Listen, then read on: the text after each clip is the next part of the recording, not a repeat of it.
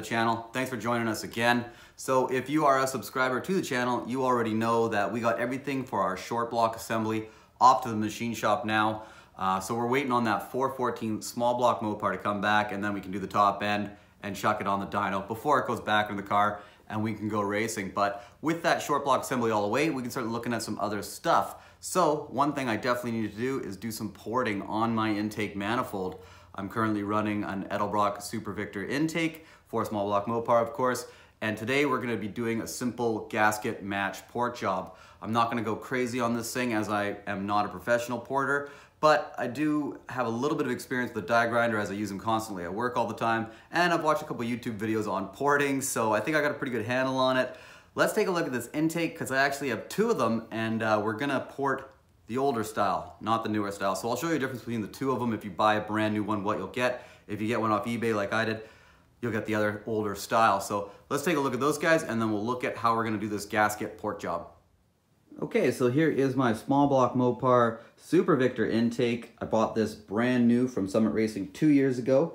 Uh, and it was on my Mopar 360 that we made 530 horsepower on, running that engine for the last two years. This is completely unported. I did not touch it. I literally got it and then it went directly onto the engine, onto the dyno, and then it never came off until we wrecked that motor and then started the new build. So I'll show you something pretty cool because this uh, these are the gaskets we were running. It's the Fel-Pros. This is what everybody runs. And because we put this on and never moved it or took it off or anything, you can see that the gaskets actually left a perfect indentation of where the gaskets were sitting so you can see how much more room there is to port these intakes. Uh, when I first got this intake, people reached out to me and they're like, you can port those things like crazy. And I was like, yeah, that'd be awesome. But I certainly did not have time as we were heading to the dyno that day. And I know that these Fel-Pro gaskets were great on the Trick Flow heads. Here are my Trick Flow 190 CNC ported heads. And you can see that's the same gasket there. And it is a perfect fit. Like, doesn't get any better. Those are CNC ported. So that gasket was made to fit that and uh, it's an excellent fit. So that neoprene is what you're seeing indentated onto that intake manifold. So now you might be saying, well, why would you not just port this intake out because it's already even laid out for you. You know what the fit was exactly on the head. Well, because that one's completely unported, bringing us to this intake manifold. This is another Super Victor intake I got off of eBay. Now you're probably like, why do you have two of them? Well, when I went to go buy that one, there was on back order. I found this one on eBay. I was heading to the dyno and I basically just bought them both and had them race to me to get onto the dyno. So again, you're probably like, well, why don't you just port this guy and leave this one? Well, I was told this was unported and the ports themselves do not look touched. In fact, I did some comparison and they look totally stock unported as advertised. But if you look in the upper plenum, somebody has definitely gone in there and used a chainsaw to do some massaging in the upper plenum area where you can see a completely stock one is smooth and round and this one is not. So this is the intake that I'm gonna do the port job on. And I actually think this is a little bit cleaner of an intake. Um, just the way it looks overall, you can see that this guy here has the bosses for fuel injection. I imagine that's why Edelbrock switched over and now you can only get this model. So this guy doesn't have that. This one here also has an extra spot for like a temperature sensor or something. This one does not. Other than that, they are completely the same. So I just think that this intake looks a little bit cleaner. So this is the one we're gonna use and it's already been ported a little. So might as well port this one, leave that one completely stuck. No, it is not for sale. I will trade for a Trick Flow single plane though. So if anybody's got one and they want to do a swap, let me know. So let's port this guy. So now we can start using our gasket to lay it out. Okay, so the first thing I'm gonna do, I'm just gonna transfer the roof and the floor of the ports.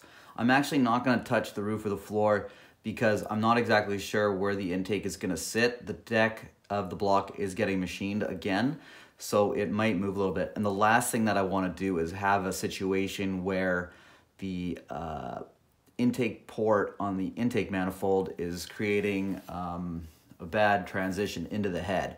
So if the intake was sitting like this and the head was like this, creates a wall and that air would hit the wall and that's no good for horsepower. So all we're gonna be doing is widening these guys because I know based on that intake and the gasket fit on the heads where the width is, but the height may change a little. So just gonna transfer this line straight across on the top and the bottom and then not touch it.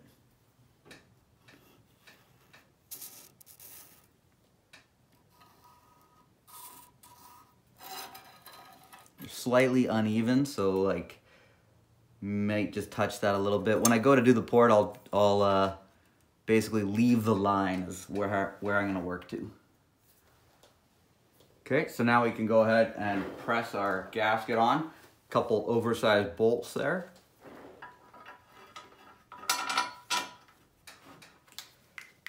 Okay, gasket is in position now with some nuts and bolts, and I can just transfer this line. You can see that the gasket's showing it above, but like I was talking about earlier, I'm not gonna touch the uh, roof or the floor. Just going for width. Okay, pull that gasket off, see what we got.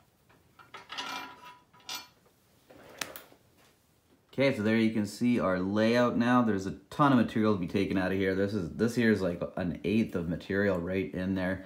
They weren't perfectly centered, so center them up, widen them, and uh, make some more horsepower. Okay, with both sides laid out now, what I'm going to do on the inside here is uh, most guys, when they talk about the plenum area, they just talk about line of sight, making sure that the carburetor has a good sight directly to the cylinder head. So simply cleaning this area up and rolling that down into the ports is uh, where my main focus is going to be. I'll take off some casting flash as well. I'm not going to go crazy up here, uh, but just basically clean up what they did and then try to pull some material out and make a good uh, trajectory right into the cylinder head. You can see on the stock ones how much it bulbs out. So this would, like I literally put the carburetor on here and through the butterfly you could see these areas. So I imagine that's why they did that. Um, but we can definitely do a lot better than that. So let's get off to the shop now and we can start making some chips. Okay, so in at my work now. Got my piece all secured to the table. We're all laid out. Got my carbide burr uh, ready to go here. So I thought I'd show you a little bit of the technique I'm gonna use because you don't just want to go in there and just start hogging out material without any real plan. You want to make sure that you go in nice and straight. You don't just want to put like a 45 to bring it out to the line. And you want to go in about an inch and a half or two inches. As further into the port you can go, the better. And obviously the more material we can take out, it's just uh, going to increase that airflow. I'll show you this little diagram, my crude drawing here. This is our current port kind of design, a nice radius. So even though we're gonna make it wider, like this guy here, we don't just wanna go straight in, but we wanna go straight in and then start working that radius as well to keep more of this shape. This is gonna have better flow. This might have more volume, but a worse flow. So it's really a combination of the both. So we're gonna go in and then into the radius, nice flow pattern. Okay, so nothing left to do but uh, start making some chips. Let's go.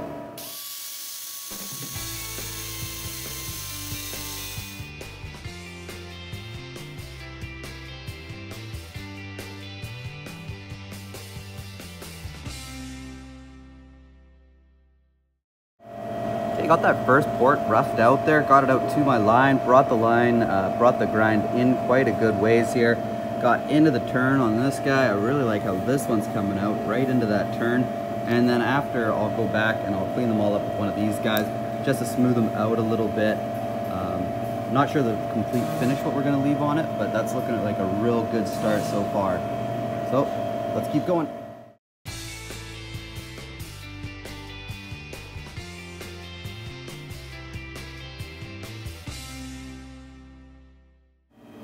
Okay, so here's one side roughed out. I'm pretty happy with how it's all turned out.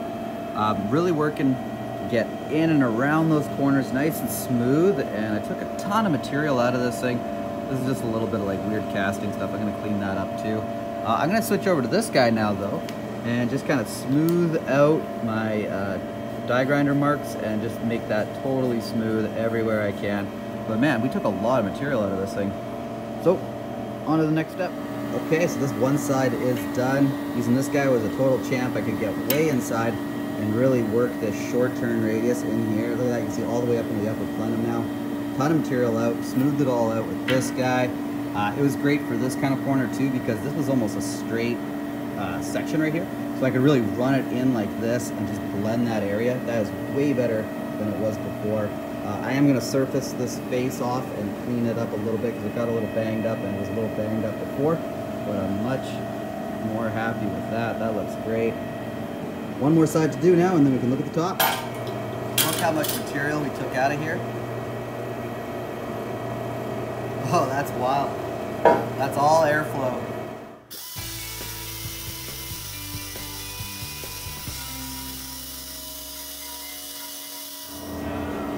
Okay, so two sides ported out. Now we'll do a little sanity check here and just check that out. So that's 10 times better than where it was before.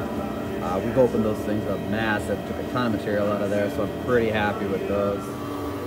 So upper plenum, just like we talked about, we're just gonna dig these guys down right around the carburetor flange and direct air into the runners, make a nice transition there and then just keep clean up some of the uh, casting flash you can see in there.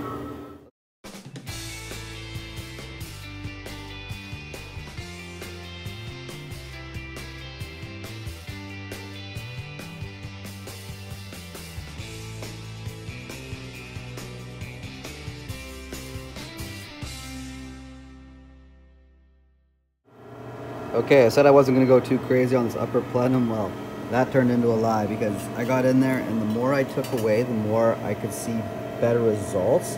So I cleaned out all this material here. I rolled everything down inside. I got rid of the flashing on the bottom. I didn't take anything out of like the dividers. A lot of guys knife edge those, but I've seen mixed results with that. But I took a ton of material out. Like we're gonna do a comparison. Like look at the drop down now. We'll do a comparison on a stock one after. But these transitions, I'm really happy. It doesn't look that great on video, actually, now looking at it, but look here. Yeah, there you go. I took a ton of material out of there, rolled these all through. I am really happy with how that top turned out. And again, I'm gonna sandblast everything so it has a uniform finish on it.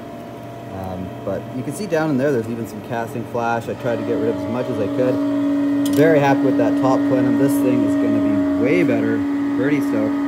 Okay, let's get home and compare it to the stock unit. Just look at how much material I've taken out of this intake. It's actually crazy how much stuff came out of it. If anything, I made it lighter. So, so here we have the overhead shot of the stock one, and then take a look at the ported one. So much more room, so much more flow. Looking at the two of them compared side by side like this, I'm just even more stoked. You can see how bulbous this is. It comes way out here. So this is all what I took out. And uh, that upper plenum area is great. We know that the port job is going to be awesome too. So really stoked to get this thing back on the motor. So that's going to close out this video, guys. Thanks again for watching. The next time that you see that intake will be up on the stroker motor, up on the dyno, making some serious power pulls. So stay tuned for that. Thanks again. See you guys next time.